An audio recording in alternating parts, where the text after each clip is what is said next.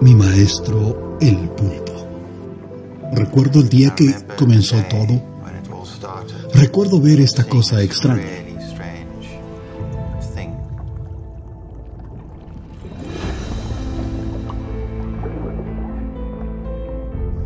Muchos comparan los pulpos con alienígenas, pero lo extraño es que cuanto más te acercas a ellos, más notas lo similares que son a nosotros en muchos sentidos.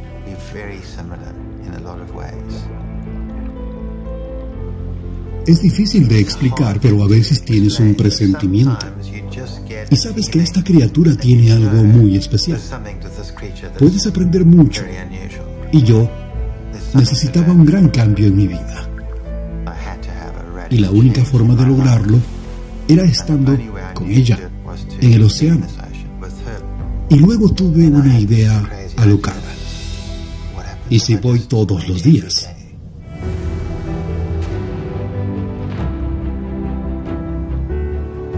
Pero hay un límite que no puedes cruzar.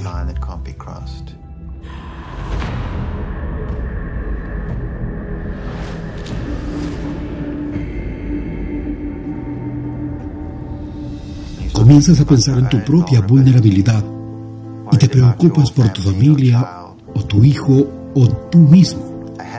Nunca había sido muy apegado a los animales, pero aquella vez supe que algo en mí estaba sucediendo yo estaba cambiando y que mi relación con la gente, con los humanos, estaba evolucionando. Lo que aquella criatura me enseñó fue a sentirme parte de este lugar, de este planeta, y no un visitante.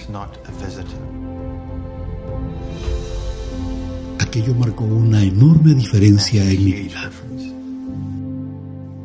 Mi maestro, el pulpo.